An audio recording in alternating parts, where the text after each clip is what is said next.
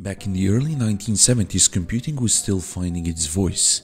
Giant machines, blinking lights, and endless stacks of punched cards ruled the scene.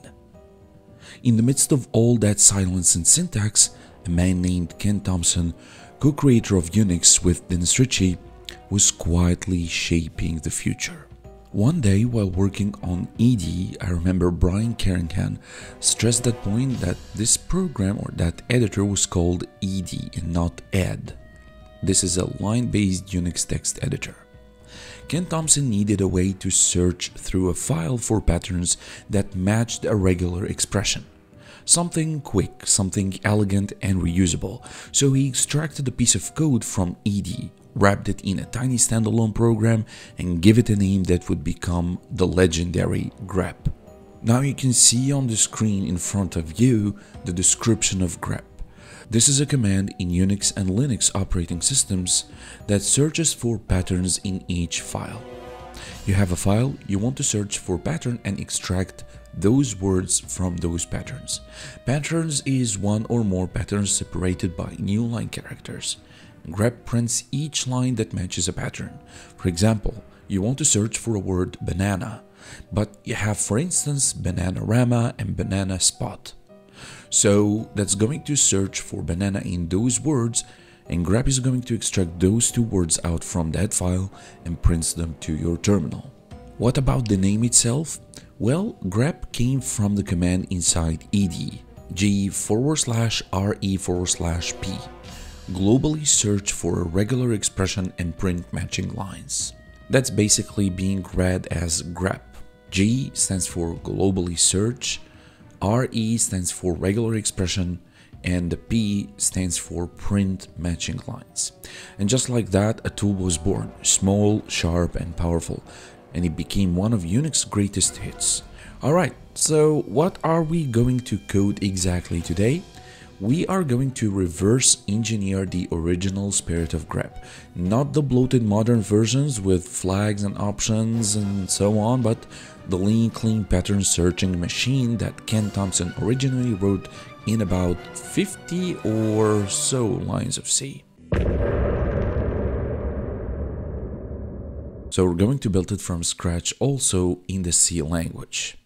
That's going to read from a file or standalone input it's going to search for a pattern and it's going to print only the matching lines. No fluff, no magic, just solid C code and the elegance of old school Unix thinking, where small tools did big things at that time.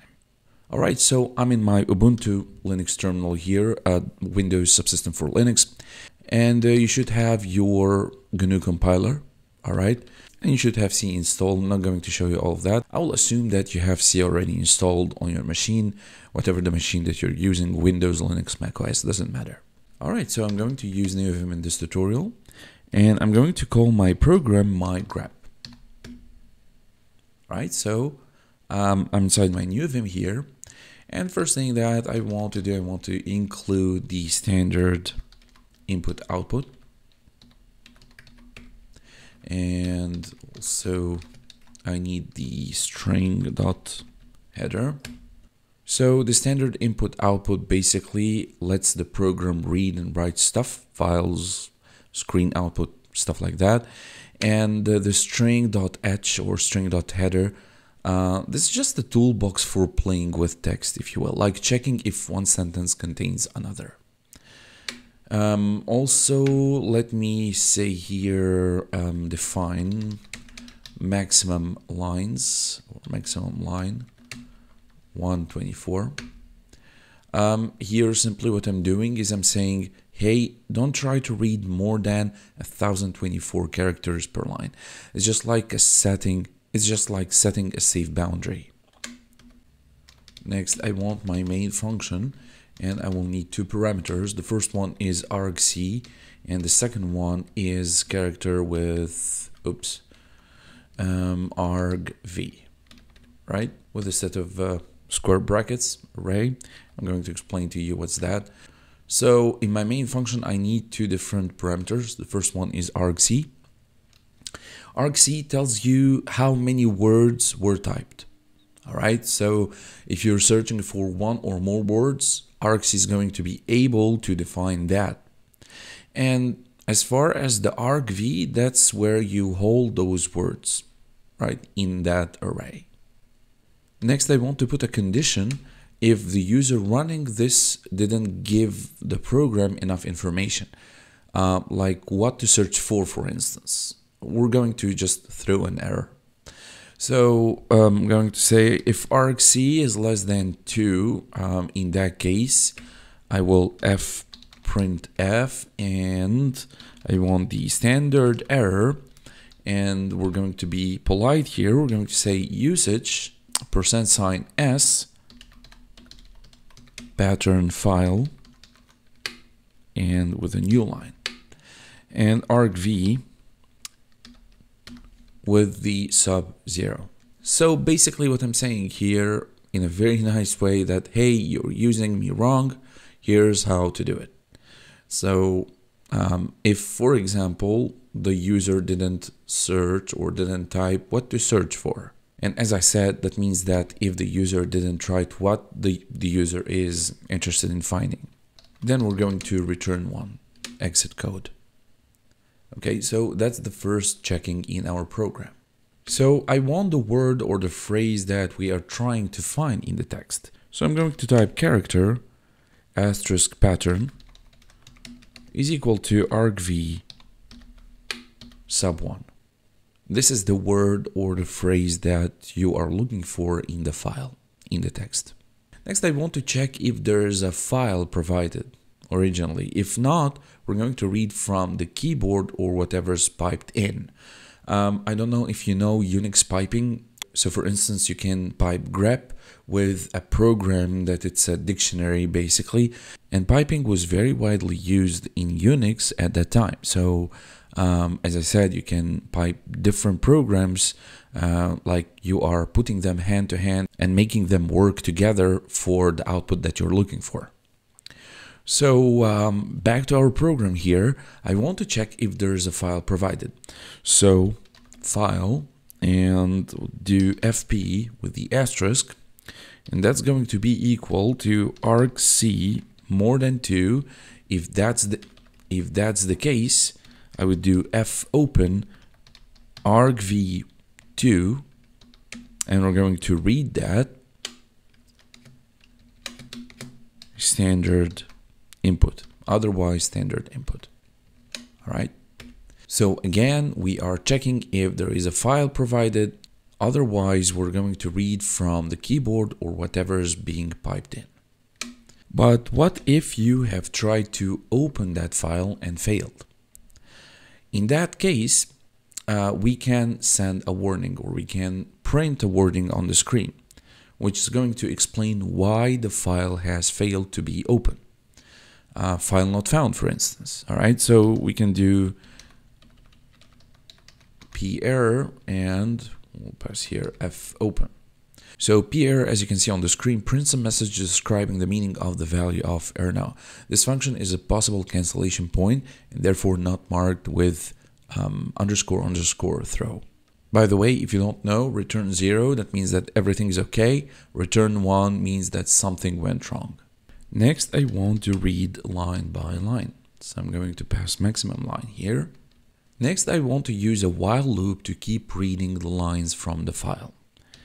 So I'm going to say while f gets line, size of the expression is the line and the second parameter is the fp. And inside that while loop, I'm going to ask, does this line contain the pattern we are looking for or not? So I'm going to check out if stir stir because need line and the pattern so if the text is uh, found in the pattern that I'm looking for, I'm going to put line and standard out.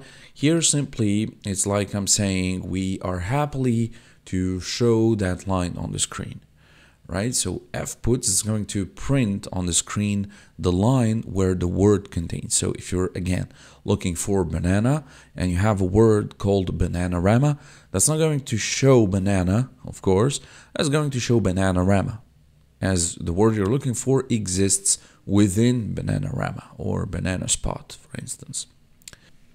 And then finally here down, I want, if we have opened a file, we want to close it, right? Because we are good, responsible programmers. No memory leaks, no mess. We want to check out if FP is not equal to standard input. In that case, I want to close the file, right? And we're going to return zero means that everything is okay and went smoothly we want to say that all good with this um, exit code 0. Alright, and that's basically everything. That's our program actually. Now let's create a sample file. Uh, it's going to be txt. I'm going to put any text. Alright, so that's a simple text. You know, random words doesn't mean anything. Um, by the way, Python is bad. That's not true. I like Python, uh, but uh, yeah, just to provoke you guys. Uh, Bananarama, C is cool, Banana Spot, Banana Boat, pattern matching is cool. So you can um, the above here I uh, I have put some spaces, and below here I have omitted some spaces. I have my grep folder, but it's empty because I've created um, the files in the, the um, in the home directory. So I want to copy sample uh, text and I want to copy also my grep. All right. Now let's go to my grep folder and let's ls. All right, awesome. Um, so uh, let's now compile our C code. I'm going to do gcco my grep from my grep.c and we should have our executable. Awesome. That's the one with uh, that's the one with the green color. This is the executable. So now let's try our program. Let's do my grep and I want to look for Python, for example. And the file's name is of course sample.txt. Python is awesome. That's working. Let's um, take a look to banana. That word exists in three different lines. Banana boat, Bananarama, and banana spot. Sweet. Uh, what if I want to use the pipe input into it? So let's do cat. The file is sample.txt and I want to look for banana. The same thing. All right. That should work as well. Let's do, for instance, hello. Let's do John. All right, that's empty. We don't have John in our file. Let's do world. Have you noticed that I haven't even written the, the whole word? I only uh, wrote the first four letters, W or L, and it was able to, um, you know, go in a loop, line by line, search for, um, you know, starting from W and ending with L, and, you know, retrieving that word. So that is what grep does, basically.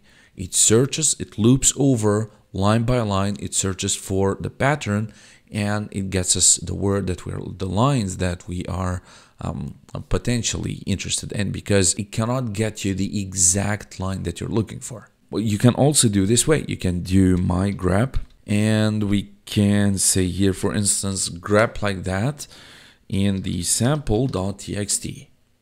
There is nothing here called grep. Why? Because they are all capitalized.